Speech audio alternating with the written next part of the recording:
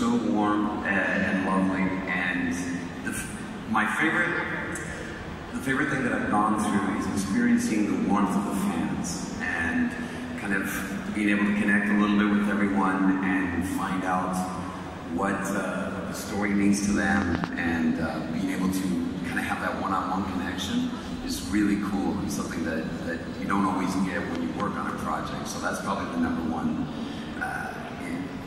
thing, my favorite thing about the impression about this. Do fans also bring gifts to you when they meet you?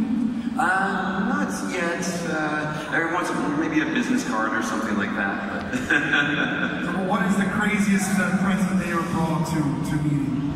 Um, uh, just a little drawing, actually. It was a, a handmade thing, which so a very personal, personal gift, which is nice.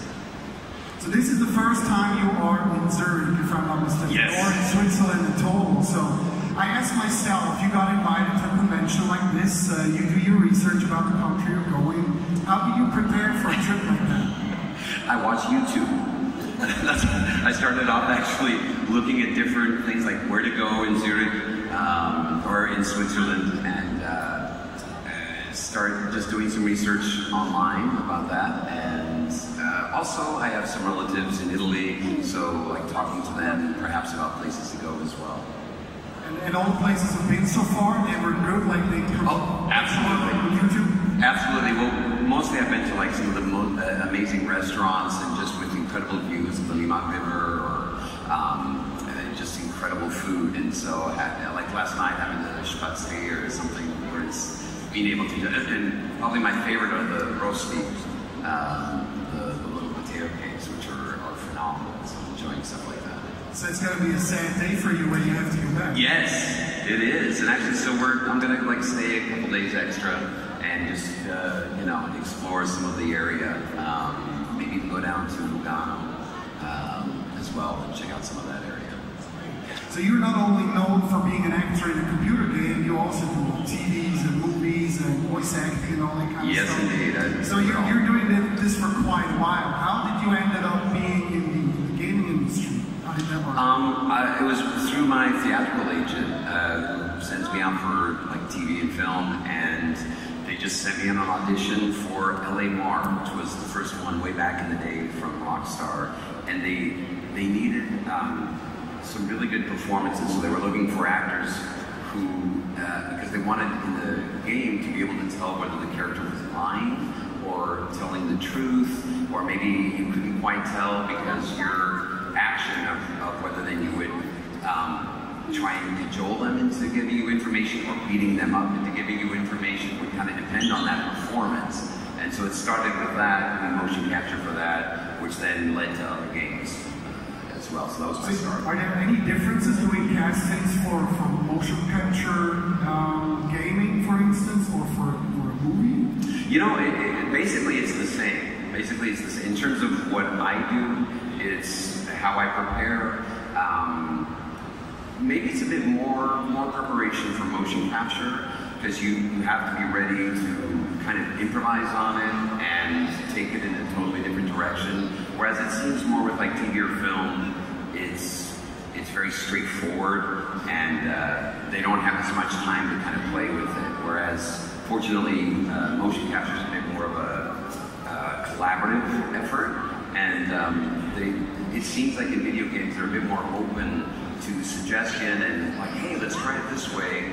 Um, and so you can actually do that even in the audition process, which is nice uh, if you can say, hey, okay, we did that color, let's try it if the character's a little rougher something like that, and it can change the whole scene.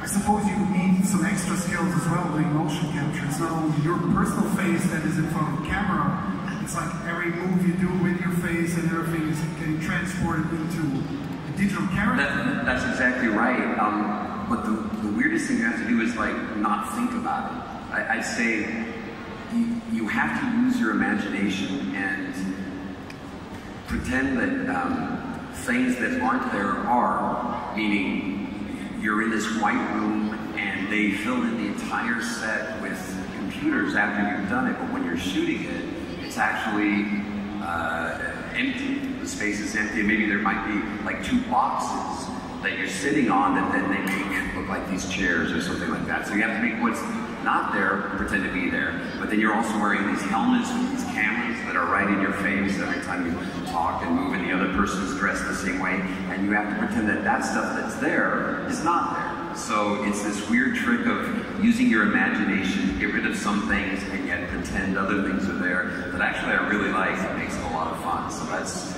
uh, one of the best things about doing motion capture. It, it is crazy. That's the, in a word, it's crazy. Well said. How do you prepare for something like that? I mean, if I'm in a room where there is nothing, and I would have Yeah. to imagine, imagine that I lift up something that is not even there, or to, I don't know, even ride a bike like Right. Do it in Days Gone. Well- how do you prepare for that? At, at, uh, for me, um, doing research, first of all, using your imagination. And um, I'm not a, a motorcycle rider, so I had to do some research on how to ride a motorcycle. And uh, for me, that was actually like watching again some things on YouTube and seeing like how uh, some of these bikes are so heavy that you can't just pick them up from the front. You have to kind of get in front and then move, use your whole body like that to, to pick them up. And so then when we were shooting with these bikes, they're bikes that are made out of just plastic pipe that don't look anything like a motorcycle. Um, I knew when it came time that we had to, like one of the scenes in um, uh, at the beginning of, of Days Gone, we had to lift up Deke's bike, and I knew that we had to do it that way rather than just kind of grab it because the bike would actually in real life be too strong or too heavy. And how does that work with the motion? If you sit on a virtual bike and it actually moving, is it moving when you shoot? No, no, it's not at all. So like you'll you'll get on a bike and you have to pretend like you're you know doing the kick and then sitting down and you just in it, you you pantomime that whole um, motion, which I don't. For me, it helps you actually get into the scene. So I really like that. So from all the stuff you did so far, voice acting and, and computer games and what's the most fun for you to do? Motion capture uh, by far. Um, for me, the reason is like when you do. I was just doing a, a TV project, and it's so slow. Um, you rehearse a scene, and then you take a break, sometimes for hours, while they set up the lights so that there's no shadows, and it takes them forever to do it. That's just the nature of the beast. You shoot maybe an average of around seven pages a day. Whereas on motion capture, you shoot about 30 pages a day. You have to come in ready to rock and roll. You have to like know your material and be prepared. But then you don't have to wait for the camera to set up. Once they put the dots on your face, you don't have to wait for makeup or hair because it's all done with computers. And so you just go and go and like do a scene and like I was saying, you know, you can you can collaborate. It's kind of like a being in a band where you're like, hey, let's try it like this now, and so you, you add that ele- uh, extra element, and you get a play, and it's really it's more play, and so by far my favorite medium is now motion capture, performance capture. You also did some voice acting as well. We, we had last year we had Jon Campling here, the famous Oh my gosh, yes. Final Fantasy. Classic It, it was face. kind of crazy for me to figure out that his voice in the game is not actually him, it's you. Right. so I met the body and the voice And the voice. So far, which is Yeah. great. Um, how can I imagine casting for, for, for a voiceover job? I'm sorry, how can you imagine? Casting for a voiceover job? Well, uh, so basically what happens is I get something over the email from my agent saying a little breakdown of the character and then the lines, and I'm in my little studio under the stairs where I just uh, give like a few different versions of, of ways that I think the audition you know should go, and I submit that um, you know in an MP3, and then if they like my work, then usually they'll call me in and we have like for instance for Final Fantasy. Um, they, they call me in and then we start playing with it and try different qualities, submit that then to the team at Square Enix and then they make the selection of who they like. And that was how that happened. So how many voices can you do? Uh, it's I change it up every time. I've never counted or anything. What I I base it according to those specifications that I get and what seems right for the character. You know, if if it's someone who's a bit more controlled, and perhaps I might change it into an accent like this, really a quality of voice, or if someone who's a bit more, you know, like Boozer or something like that, then I call on my, my Colorado roots, um, uh, growing up there, and kind of remember how people sound there and, and certain types, and, and, then base it on that. So it, it's almost an infinite, infinite variety that you can, you can make based on whatever seems right for the character. So just imagine, we do have Charles Martinet here as a guest. Yes. The famous voice of Mario, Superman. yeah. Just imagine, he's sick today, he cannot talk. Could you do his voice? Uh, no, he, he goes up way up. I, I, I specialize more in the in the lower range uh, characters, so yeah, I, I you know, it's some audio like I, I can't really do. least you could do I can say the words. Yeah, I can do in italiano lo posso fare, non c'è problema. But as far as ah, siete italiani? So yeah, the, the I, I'm not an impressionist. So um, there's some people that you know uh, are really very good at that. I'm not not so good at the impressions. I just kind of try and come up with a unique voice for that character. Do you also do like, I don't know, like recordings just for your voice for like telling stories or something like that instead of using it in movies or games? No, no. I mean, uh, when my kid was younger, I would read stories to her, you know, at bedtime and do all the voices and stuff like that. But as far as professionally, no. Yeah. So when you work on a, on a voiceover project, how can I imagine that? Is, is it just you in the studio or are there like different people doing dialogues with each other? It varies. Usually, it's just you in the studio, and there's like a session director and then a sound engineer, and you're going um, over the lines. Sometimes you don't get the lines until right then, so it's it's uh, very immediate. They have like a computer screen with the lines printed up, and you see the one, and you do what they call a AB or an ABC. You do like two or three takes. Um, you'll say it once, like break down the door, break down the door, and you do like two different ways. And like, okay, they, either they're happy with it and they move on, or they're not. Sometimes it's very, very fast, but it's kind of like if you're a musician, it's like sight reading, um, and so you have to be able to deliver uh, on the spot, and that's usually you're alone. And you pretend like you're with other people, so that's where the imagination and the acting part comes in. Every once in a while, you're lucky where, like sometimes a World of Warcraft, they'll bring in a group of people, like if we're all orcs or something like that, and you get the chance to work with some legends in the business, and um, it is so much fun because then you can really interact, and, and it's then it's like acting again, and you can have little moments uh, that that are more improvised uh, rather than just what's on the on the page, and that's always more fun. So since there are no cameras doing a voiceover job, everyone comes in in the morning in their pajamas, unshaved and stuff. Is that how it is? Usually it's very casual. Yeah, that's, that's part of why I like it because you know I, I don't have to dress up. I can just be very chill and um, yeah, you know, basically uh, got me my my leisure wear or my pajamas. Yeah. So I can imagine when you do a voiceover job, it's pretty um, tough to have like an accurate speed of how you talk. How does that work? Do you have lines on paper, or can I imagine like a like a karaoke show where you have the? Uh, Oh, oh, I see. Um, usually you don't have to worry about uh, the timing, but every once in a while, like for Final Fantasy, you, you do because uh, the the video is already shot, so you would see like Jon Campling's face uh, doing the, King Regis's motion, um, and but you would hear the Japanese actors doing the voice, and you have to uh, hit the, the exact timing of those um, uh, of the, the words that the, the Japanese actors would say, and or sometimes even just the sounds, which is very different culturally. Know, and it's like all of a sudden you have to stretch out the word and try and make it sound natural, even when it's not. So it's it's a very technical challenge, which I actually really like. It's like, oh, this is like literally a tenth of a second over. It's like, all right, let me let me do it again, and, and then you just like, all right, cut it off. And sometimes it's a big thing you have to say, but just get it very exactly within the time allowed. And, and so that's a whole challenge unto itself that actually I like. But yeah, every once in a while you have that. Most of the time, Party it's for fun. Platinum session. So you had your experiences with Young Dead and Days Gone. Yes. Um, how would you uh, tell the people to prepare against Young Dead? We know like, we had this question yesterday, and I'm quite sure you couldn't sleep because you wanted to have the right answer for today. So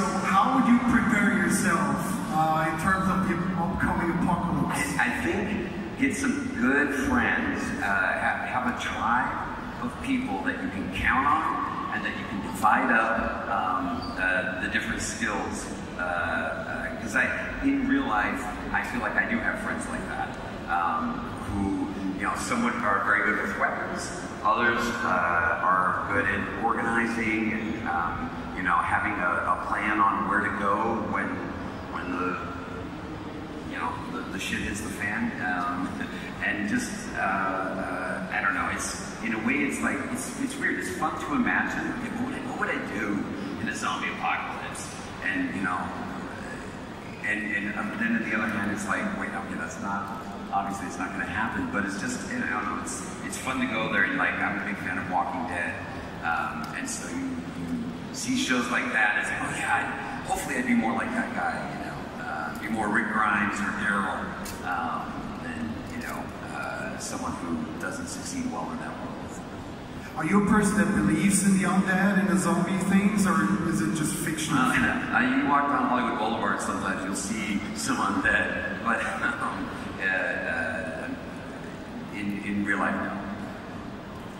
You're uh, you're representing an amazing skull tattoo in these. Yes. Have you?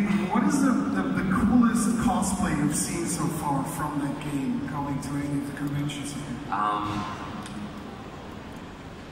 the coolest one that I've seen, uh, yeah, I mean, it's, it's going to be the obvious answer for me, but it's actually true. I, I've seen a lot of boozers, and uh, some, actually, the, the people up at um, uh, Bend Studio up in Oregon, the developers of the game, a lot of them dressed as Boozer with like full on the holster and uh, the skull cap, everything. It was really, really cool to see. Um, and so those, uh, actually, it meant a lot to me that these guys liked the character so much that they dressed up as Boozer. And so that was by far the coolest one I've seen.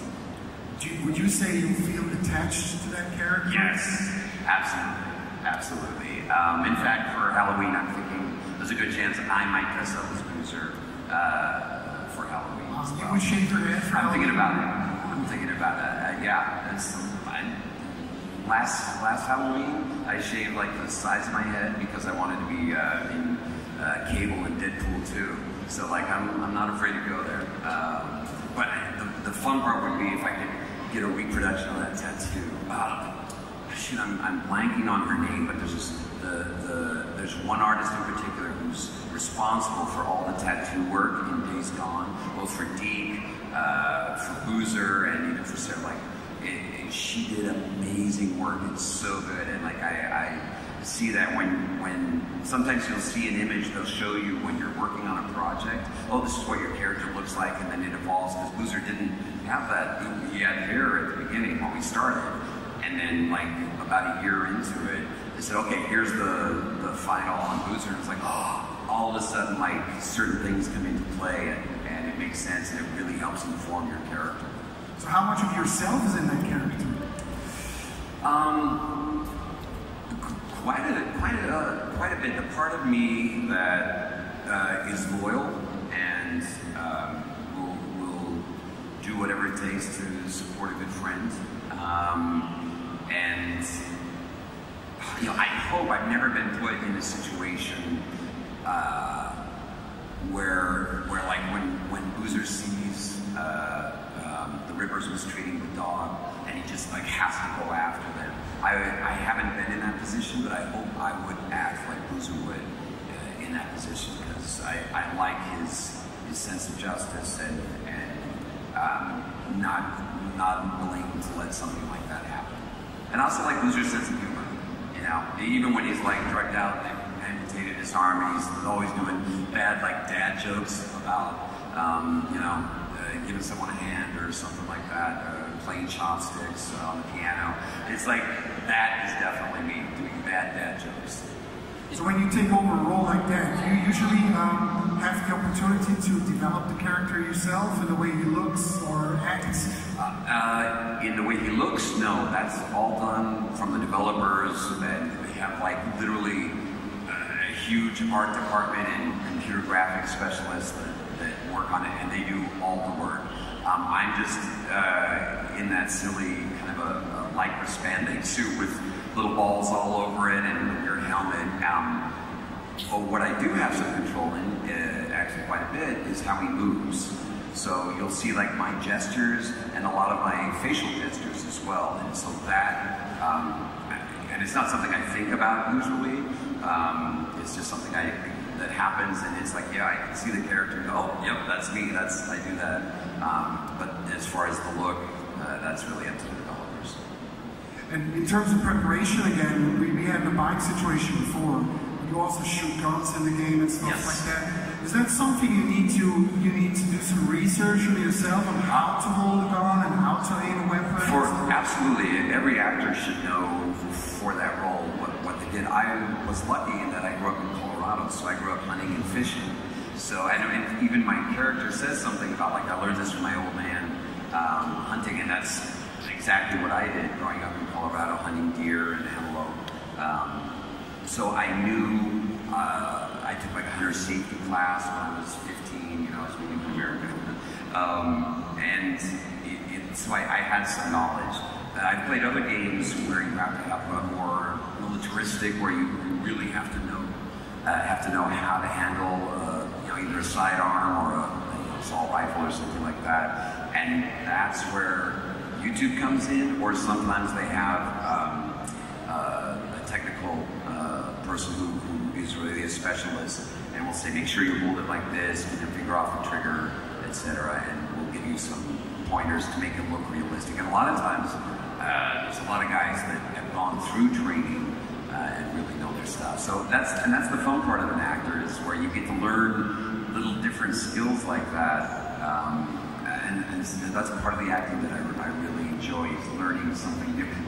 One one thing that I had to learn, um, we ended up not making it in the game, but there was one scene they wanted to do where uh, Boozer was going to take a hit from a bong, and I don't I don't do drugs, so I, I didn't know how to do that. My friend YouTube, I just look up on how to take a hit from a bong, and I, I had to go there and, and watch like a few different ones, and then pretend on the day of the shooting it that they were doing like, oh, you take out the thing, and okay, so I, I, I did that, and afterwards, um, I had like the best compliment I've ever ever had uh, for an acting job, where uh, one of the technical guys was like, oh, looks like someone knows what he's doing. And He's like, yes. It's like I had no idea, but I was acting, and so I was very, very proud of that moment, even though it didn't make it. In the- It seems like YouTube is like your little helper. you know, it is. As I'm talking, I'm realizing, yeah, that's uh, every actor. Just uh, go to YouTube and you'll figure out how to do anything. What were the exact words you put in YouTube when you were researching the? Um, I think it was like, you know, literally how to smoke from a bong, and then all of a sudden, oh, uh, how to rip from a bong. It's like, oh, okay, start lear- learning the language, and so you know, you just start start going and casually refining, and, and as you learn and you become more researched in this, you know, uh, very deep and intense scholarly subject, then you know, you figure it out. It's like you go to your director and say, I, I have to shoot that scene, Yeah. smoking a bong, but in the meantime, I also know how to push rocks and I know how to deal with them, and then I specialist. That's a specialist. I'm a rock pushing specialist. Yes. Uh, you also played a character in Red Dead Redemption 2. Yes. Um, did, did you uh, have to learn how to ride a, a horse? Um, no, um, because my character doesn't ride a horse in that one actually. I, which, you know, I, when I found out it was Red Dead, I was like, oh my god, I hope so. But I'll tell you something interesting about that. My audition for that was completely in Italian. It was like a three-minute monologue in Italian, uh, no English whatsoever, and it, it was kind of like a, a union organizer organizing a bunch of men. And then when I show up on the set to give the actual script, it turns out it was all in Italian. uh, I'm sorry, all in English, uh, but it was uh, with an Italian accent. And I thought it was very strange that they they had me do it in Italian. When I talked to the director, uh, he said that they just wanted to make sure that someone would be authentic. Um, and so, they, you know, I would throw in like an Italian word here or there, but uh, it, it was very different from what I auditioned with, which was very strange, very surprising. So you could you could use all the, uh, the famous Italian swear words. Yes. Fucking cows by. I'm gonna be Not today, not not today, not today. I will. I'll, I'll say cowgirl instead. Yeah. So I'm gonna be? I, can I imagine you prepare yourself for a role like that because it plays in a time where, where we have no knowledge of or books. Right, well, and that's the cool thing about video games is sometimes they take place in a fantasy world. You you could be in something like a turn of the century kind of New Orleans type city, or um, like my character was in The Dead, or you could be on an ice planet in the far reaches of the galaxy, or in a zombie apocalypse riding motorcycles. So it really comes down to your imagination, and so I, I really think about what it would be like to be in that like day to day, having to fight uh, just to survive, and having what that would do to you. Um, and you know, it's it's really it's the same thing as like when you're a kid and you play army, um, or you know. Uh, you, you just use your imagination, except you just try and do it at a, a, a little deeper level, um, so that you can bring it to life when, when the time comes. And also, you think, where in my life am I similar to this character? You know, uh, like Boozer's good at tracking, and well, Boozer's good at, at tracking and, and hunting. I was okay. I was not a great tracker, but I knew just a, a, a little enough to, to be able to pretend like I knew more. So we all know this situation because you talk about imagination. We all know this situation where you read a book, you imagine how this world looks like, how the characters look like. So I, I can imagine you being in a role shooting for a computer game in an empty room with all Yes. these thoughts. You try to imagine how the world around you looks like. Did you ever have that feeling seeing the end product where you're like, that's not how the world is? Yeah.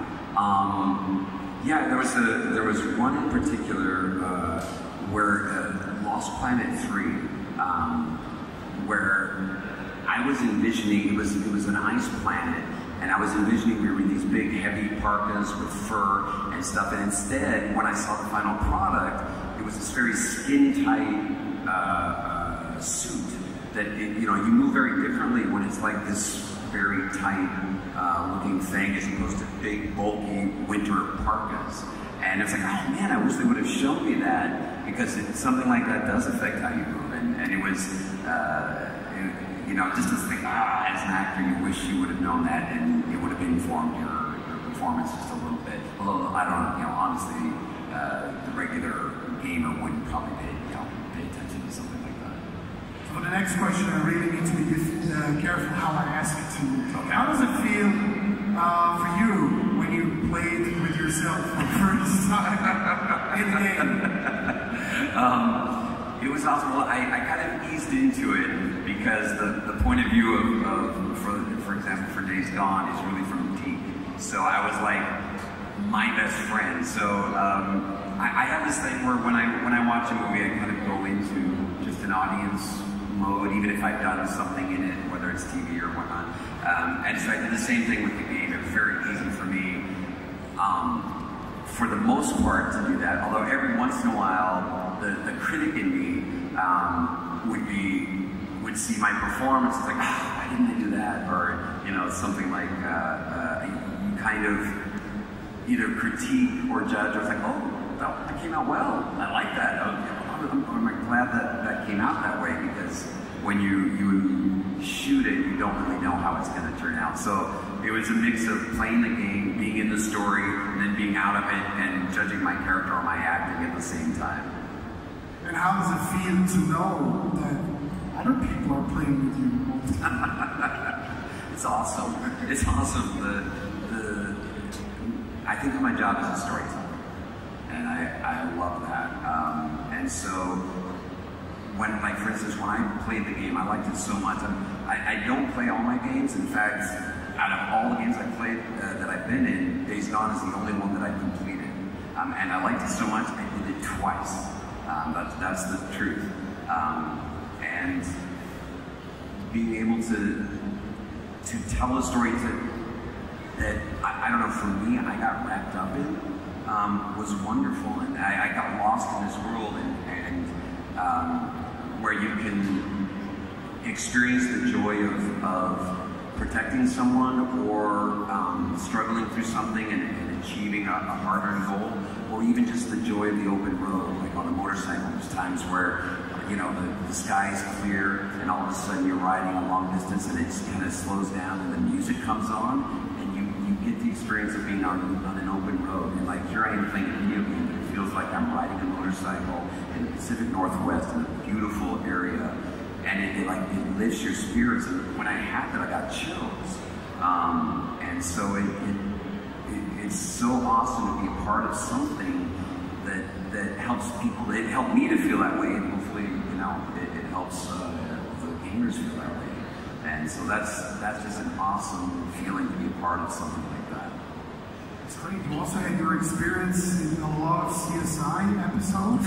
yes, I did the trifecta Did you ever have a situation in your real life where you could use your CSI skills?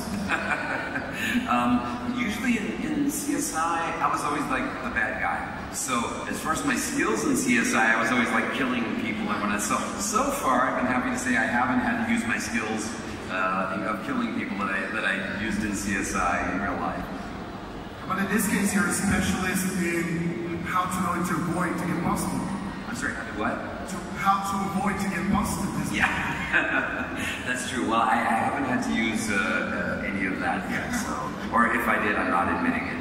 You never know what's coming. They, right, right, right. so you are uh, you're playing an interactive character in the games. Um, you're here also meeting people. What's the most favorite part in interacting with people? How do you usually interact with your fans? Um, well, there's always online. Uh, Jim underscore Pirri, either on Twitter or Instagram. But the, my favorite thing is here, like at the at the convention, um, just come and say hi to me. Even if you're not getting an autograph or a photo, just come and say hi because I always like to hear. Uh, you know, I, I have such a big body of work. Sometimes it might be from a game, uh, a specific thing, or a specific TV show, Friends, or you know, CSI, or, or Lois and Clark, or whatever. And so I'm I'm happy just to, to talk and uh, you know, it's always nice to kind of hear um, what people's take is, and, and, I love it. So please come by and, and say hi. So yeah, that's you should all do that because as you can see, Jim is a very nice guy. and he's Thank like, you very much. He's the same behind the scenes. yeah, I, am I'm glad you said that because otherwise I was going to really tear your head off when I get back there. Then I, then I would use my tines. Do you usually um, experience the, the, fans coming to you? Is it like you have a bigger fan base coming from the gaming scene or from the movies? Or well, at, at the convention, I would say definitely it's more gaming. Well, it is funny, and um, just recently uh, uh, in in in the states, there's this certain age group. I, for a while, I was on the show that um, was called Victorious, or there was another one. Uh, uh, Shake It Up, which were targeted towards kind of like what they call tweens, you know, the 10 to 13 year old kind of uh, age group. And I can tell, like, I'll, sometimes I'll walk into a place, it started happening more recently, where the, the, the workers there look, look at me and they kind of do a double take and they go, were, were you on TV or something? And and, and they're like, they can't quite picture where it's from, and, and I'll say Victorious, like, oh my God, yes, and I play the dad on Victorious or something. And so like the kids that were that age when I recorded it have now come of age, and so I'm starting to meet more of them, and it seems to be, if they're now kind of like in, in that age group, I'm like, oh, they must have known me from that project, so uh, it's funny how it, it varies depending on where I am and also the age of the person. So this this is actually your last panel tonight, uh, today yes, for the convention. Um, what's left on your plate for the rest of the day? For the rest of the day, um, I'll be doing autographs and photos uh, just over uh, over here. Please come by and, and see me and, and say hi. Um, and then after that, uh, I'm gonna do some some sightseeing. Um, probably take the tram uh, in Zurich today, uh, maybe for this evening if possible and then do some more sightseeing locally and hopefully go to Lugano uh, perhaps the following day before heading home. So you're going to turn into a full-time tourist. Yeah, yeah, yeah, exactly. Going, going from uh, enjoying uh, the wonderful uh, Zurich Game Show to being a full-time tourist in Switzerland. I hope you're going to enjoy that. We actually, Oh, I know I will. We actually enjoyed it having you here in Zurich Oh, at the oh, game show. thank you. Jim, thank you very much for being here. It's my pleasure. To you. Give it a round of applause for Jim.